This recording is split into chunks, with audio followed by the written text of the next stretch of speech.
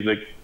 Back on Inside Tennessee, Bosch and Williams talking during the break, as always. That's the more interesting part of the discussion sometimes. Good to have, have. We got to have the greatest outtake show sometime. yeah, so. it, that would make headlines. So that hey. transitions us into this moment, and I'm going to do a little word association game with you. Again, we're talking national politics and your reaction to what's in the headlines.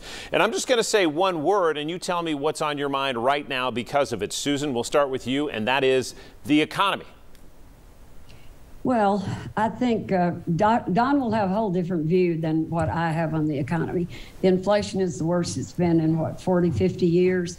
Um, gas prices have come down a little bit, and I'm thankful for that. I hope they come down a lot more within the next few months. Um, but, you know, the it's still a very difficult economy right now. Um, job placement sounds good when they put out these national numbers, but everyone I know with a business in Tennessee is looking for workers. Um, service has changed because they don't have enough workers. So I'm perplexed about why the national economy, they say it's good and the jobs numbers are good, and yet we still have local businesses that can't find help. Um, so, yes, I am concerned about it. I think inflation is very difficult. I think we are in probably a, a recession now. It may get worse. Um, I hope not, because um, I think I think we're all ready to see normal times again. But the Biden administration, with this Inflation Reduction Act they just passed, which is to me a joke. I mean, clearly somebody sat around the room and said, "What will we call this bill?" It's about climate change and health care, but let's call it the Inflation Reduction Act, which clearly the Penn Wharton School says it isn't going to reduce inflation, but it had a good sound. So, yeah, I'm concerned about the economy. I hope it turns around soon. Don, when I say the economy, you think what? Um, I think it's an incredibly complex situation, and much of the things that Susan said at the beginning, I can't quarrel with. Um, there's a reason that employers can't find employees, and that's because we're at near flat zero employment needs, 3.5%, the lowest it's ever been. Wages have gone up. What happens when people are paid more money? People raise their prices. It drives inflation. For every action, there's a reaction, and it's an incredibly difficult thing to balance. Susan pointed out that the gasoline prices are going down. They're going down dramatically after being at all time highs.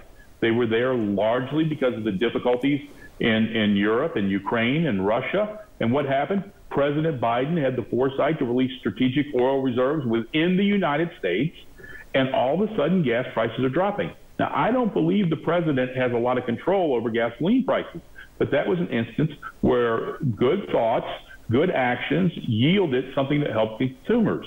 This is a difficult problem. Um, we, we have had record inflation. I think things are starting to stabilize. We've also had supply side problems and the ports backing up. And when things backed up after COVID uh, unlocked, so to speak, uh, with China being locked out, this is an incredibly complicated problem. And, and we really do have solid leadership trying to work through it. But it's not something that can be fixed overnight. I would suggest that some of the things, things operate on a macro scale, and economies certainly are that. What President Biden has done in the last two years, really, it takes three, four, five years sometimes to turn the ever large and ever so ship around to to get it going where it's going. I think we're going to be okay, but it's tough. You're right. Workers, it's hard to find workers, but you've got to pay them more right now. I'm certainly in that situation as a small business owner. The economy's booming for employment, and it, but it's it's tough with the prices of goods right now. You mentioned the president. We'll talk about uh, politicians in a moment, but let's stick to our issues for now. And Don, let's turn to the abortion issue. When I say abortion, what's on your mind?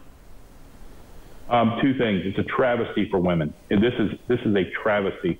This is erasing 50 years uh, uh, of women's choice and women's rights in a way that we haven't seen in so very long in our country. I also use the word opportunity. Um, there's no question the Democrats were in a hole. There's no question that uh, eight weeks ago, President Biden's numbers were at an all-time low. Uh, that, the, that the Democrats' hopes uh, even maybe to recapture the Senate, were were much lower. Things have turned around dramatically, largely on this one issue. And if there's something that's mobilized Democrats, mobilized a lot of Republican women, and I think Susan might choose to speak to it or not. Um, but I've heard a lot of Republican women come up to me and go, "Whoa, that's too far for my party, and I can't support that."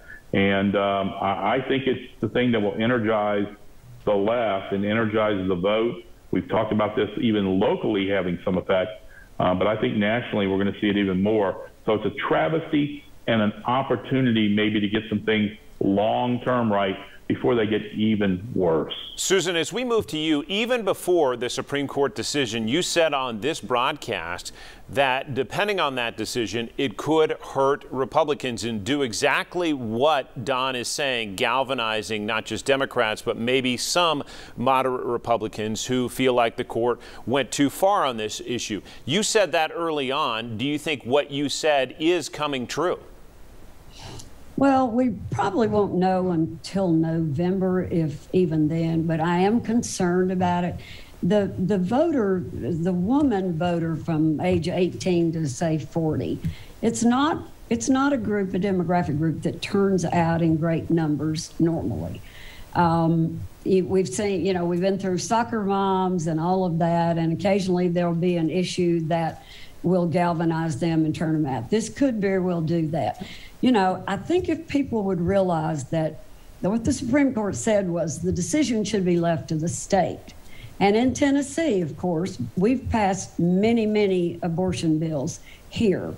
And um, I think we're we're in the sort of the in the South uh, most of the states have passed very, very uh, stringent bills that make it difficult, if not impossible, to have an abortion in their state. Other states will probably keep uh, make uh, allow abortions to happen with some maybe with some caveats. Um, but the political piece of it, I, you know, this past election um, that we just went through in, in Knox County, there was a little bit of surprise to me on the numbers. Um, the mayor, for instance, got 55% of the vote. Um, some of the county office holders got 56, 7 right in there. And in times past, we've seen 65, 66, 67. So who were those voters? Was it women? who are upset about this abortion issue, or just did the Demo- did the Democrats just get their voters out? The Republicans didn't see a burning issue to go vote, so they stayed home. Uh, that worries me again. That worries me for November. Yeah. But um, the abortion issue is one that's very difficult. It's very personal. Um, I'm pro life. I actually believe that life begins at conception.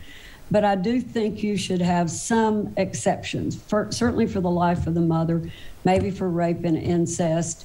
Um, and that's something that's going to have to be discussed at the state level going forward. We'll see what happens in Tennessee, but we have a fairly stringent abortion law now in Tennessee. We've got to take we a quick... one of the strictest, to be honest, because we have none of those exceptions, and it is it is a perilous time for women in this state.